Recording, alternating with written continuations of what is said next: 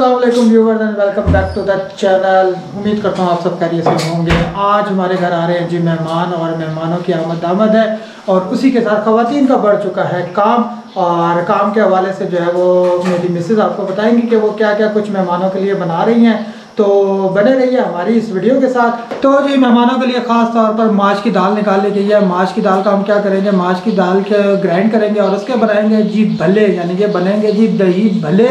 और उसी के साथ बेगम मेरी बना रही है जी मैक्रोनी, ये देखें बैक साइड पे आपको उनकी खोपड़ी नज़र आ रही है।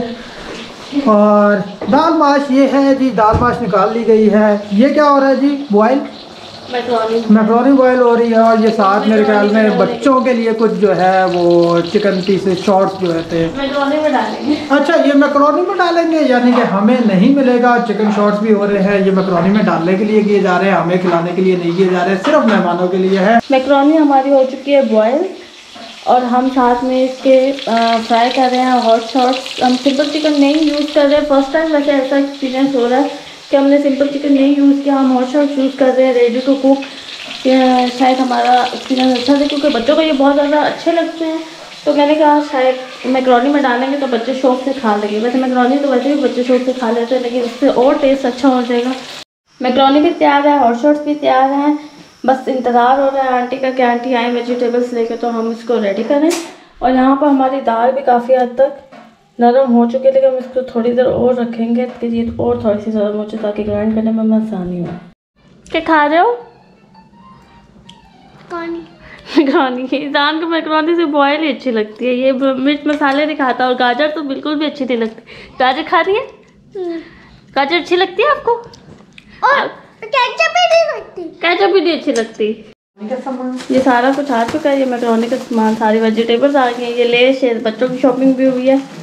साथ में दही बलों के साथ के लिए दही भी आ चुकी है। और क्या क्या है?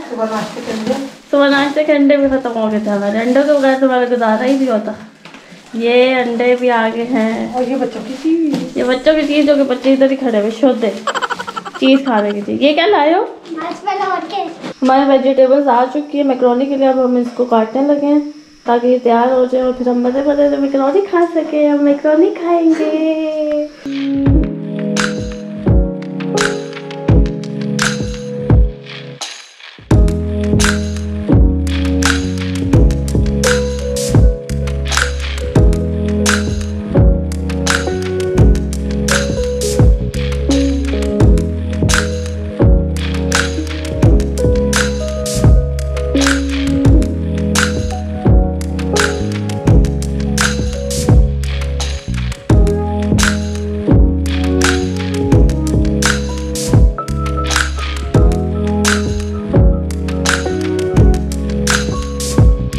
माश की दाल हमारी हो चुकी है तकरीबन दो घंटे हो गए, हमने इसको डिप किए हुए पानी में। अब ये बहुत नरम हो चुकी है, अब हम इसके बनाएँगे भले। या तो आप ग्राइंडर में बना लें या हैंड बीटर से बना लें। वैसे हम, हमें हैंड बीटर ज़्यादा सही लगता है, इसलिए हम हैंड बीटर से करते हैं। क्योंकि इससे गंद भी नहीं डलता और इजीली आप भले निकाल भी लेते हैं। कढ़ाई में हमने ले लिया थोड़ा सा ऑयल क्योंकि अब हम बनाने लगे हैं मैक्रोनी मैक्रोनी के लिए हमने सारा कुछ तैयार करके रख लिया है। इसमें ऑयल थोड़ा सा हो चुका है हमारा गर्म। इसमें हम डालेंगे थोड़ा सा लहसुन। थोड़ा सा ही डालेंगे और अब इसको हिला लेंगे अच्छी तरह से। जी ये हमारी दाल बल्लों के लिए हो रही है ग्रैंड। साथ में मैक्रोनी बन रही है। ये हमारा भल्लों का मिक्सचर तैयार हो गया। अब इसमें डाल देंगे थोड़ा सा मीठा सोडा और थोड़ा सा नमक। और फिर हम इसी को अच्छी तरह से हैंड बीटर से ही बीट कर लेंगे ताकि ये फ्लफी सा हो जाए और हमारे भल्ले अच्छे से फूल जाए। ये देखें हमने टेक्सचर बहुत ज़्यादा वो थिक थिक भी नहीं रखा बहुत ज़्यादा नरम भी नहीं रखा। इतना है कि भले इजीली बन जाएँगे। ये हमारी वेजिटेबल थोड़ी सी अधमुई सी होगी अब इसमें हम डाल देंगे। मटर मटर ताकि मटर भी थोड़े से हो जाए। मौसमी मटर ना ये इजीली कुक हो जाते हैं इसको हमें बॉयल करने की ज़रूरत नहीं पड़ेगी। और फिर उसके बाद हम इसमें बंद गोभी डाल देंगे। इसमें हमने डाल दिया बंद गोभी। अब बंद गोभी को थोड़ा सा कुक करेंगे बहुत ज़्यादा कुक नहीं करेंगे। और इसमें हम मसाले वगैरह डाल के और बॉयल जो मैक्रोनी है, वो शामिल कर देंगे ऊपर से हम चिकन को ऊपर ऊपर से ही रखेंगे ताकि वो इजी अच्छा लगे और खूबसूरत नज़र आए। अब इसको अच्छी तरह से हम बीट कर लेंगे ताकि ये फ्लफ़ी से बन जाए। अब हम मैक्रोनी में डालेंगे एक चम्मच नमक, काली मिर्चें, डालेंगे काली मिर्चें।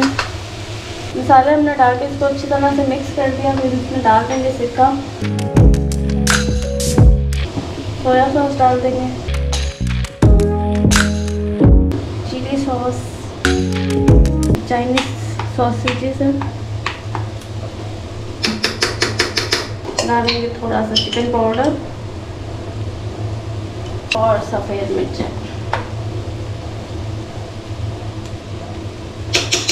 और अच्छी तरह से मिक्स कर लेंगे। जब ये वेजिटेबल्स अच्छी तरह से हो जाएगी, बल्कि हो चुकी हैं तो हम इसमें मैक्रोनी को मिक्स कर लेंगे। अब हम इस हमने इसमें शामिल कर दी है मैक्रोनी हम इसको अच्छी से मिक्स कर लेंगे। और हमने मसाले बहुत ज़्यादा नहीं रखे क्योंकि बच्चों ने खाना होता है तो फिर बच्चों के लिहाज से ही रखे जाते हैं। ज़्यादा सॉसेस ज़्यादा मसाले वगैरह डालते हैं तो फिर बच्चे खाते नहीं हैं। इसलिए बहुत ज़्यादा प्रॉब्लम हो जाती है। बच्चे ना खाएँ तो फिर बहुत मसला है। ये हमारी खूबसूरत सी मैक्रोनी तैयार हो चुकी है। अब हम इसके ऊपर जो हमने बर्तन धोए जा रहे हैं ये भी बताओ। ये जो चिकन था हमने छोटे छोटे पीसेस करके इसके ऊपर ही हम रख देंगे। इसको हम दम लगा देंगे बस पाँच दस मिनट के लिए ताकि ये अच्छी सी तैयार हो जाए। और यहाँ पर हमारे बर्तन भी धुल गए जो कि खिलार हो जाता है किचन में। खाना बनाते हुए वो तो नज़र ही नहीं आता किसी को। ये हमने कढ़ाई रख दी है, गर्म होने के लिए ऑयल और अब इसमें हम बल्ले डालेंगे। थोड़े थोड़े करके, ज़्यादा नहीं डालेंगे कि पहले हम चेक कर लेंगे कि ऑयल हमारा गर्म हुआ भी है या नहीं। और यस ये गर्म हो चुका है, अब हम इसमें थोड़े थोड़े करके बल्ले डालेंगे बल्ले फ्राई करके। कुछ हम अभी बना लेंगे और कुछ हम स्टोर करके बाद में बनाने के लिए रख देंगे।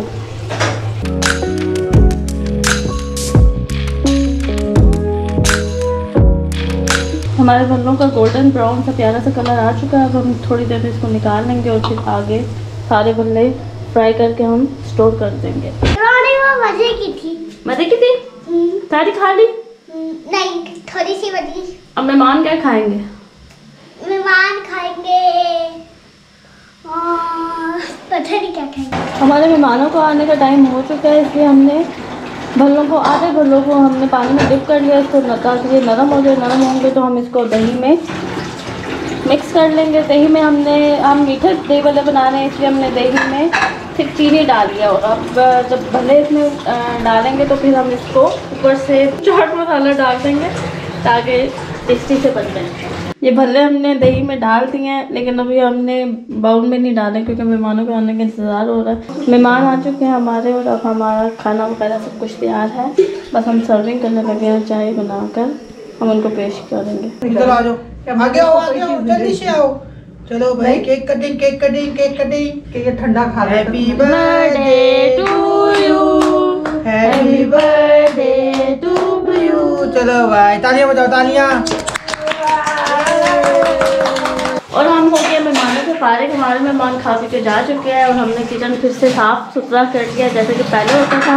ये बच्चों की थोड़ी बहुत चीज़ें पड़ी हुई जो जो बच गई थी अब इसके साथ ही आप सरवेदा चाहते हैं। मिलते हैं अगले व्लॉग में। अपना ख्याल रखिएगा।